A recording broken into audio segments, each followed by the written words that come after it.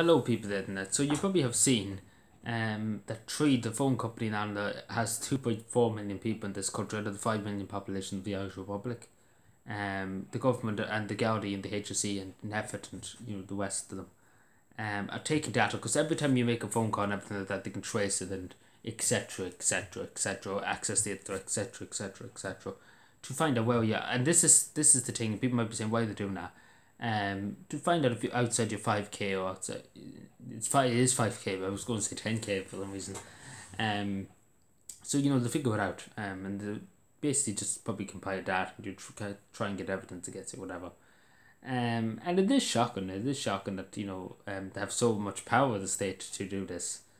Um, but, you know, I just, I don't know. Um, it's very weird. Like you know, compared to years ago, you know, they wouldn't have been able to do this um thing and tapping into phones and things like that. Like you don't know what they could be doing. Um. But yeah, it's you know, it's, like that's probably how there's so many people being found. Like that's what I was taken to when I heard of this first. There was you know um now I think it's a thousand five hundred fines for leaving your county, which I think is a hundred and something euro fines.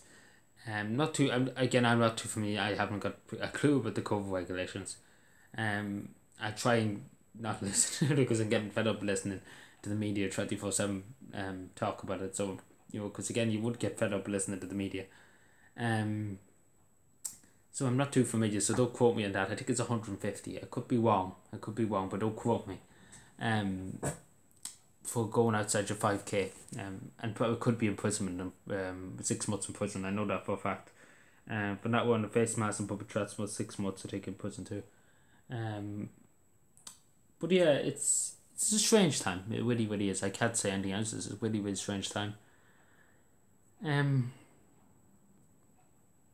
I just don't. I really don't know. But I say to people, and I say it's your in your interest. Um, and it's in your it's in your interest to comply to the best of your ability.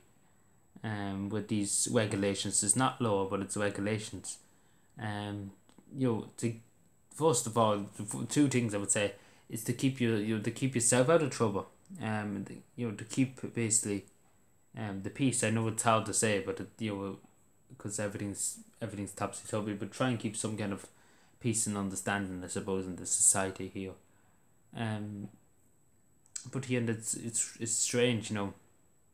Um, as I was saying to somebody yesterday, um, he was saying about the constitution. Does the constitution still stand to me? Um, and stand to society to the public and to the courts and things like that. Um, and I have to say to him, I don't know. I really don't know. Is it suspended or what's the story?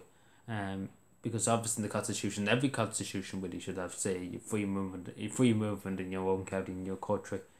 Um, and I don't know. I it must be suspended because you know it couldn't not be suspended to be honest. It might as well straight. Um, but I'm acting on the assumption that it is probably suspended. Um, but yeah, it's it's a mad time. It's nothing else to be said. Um, like not a hope that if three or four years ago I would be sitting here and thinking to myself, you know, what's what's happening in Ireland. Um, I just don't know. I really don't know, lads. Um, so I'll just say to you, take care of yourself, mind yourselves, and you know, comply to the best of your ability with the regulations. Um, I know some people you know find them very difficult to comply with them.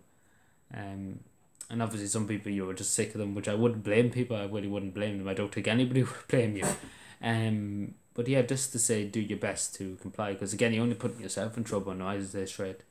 Um, so take care, everybody. Mind yourselves, and good goodbye.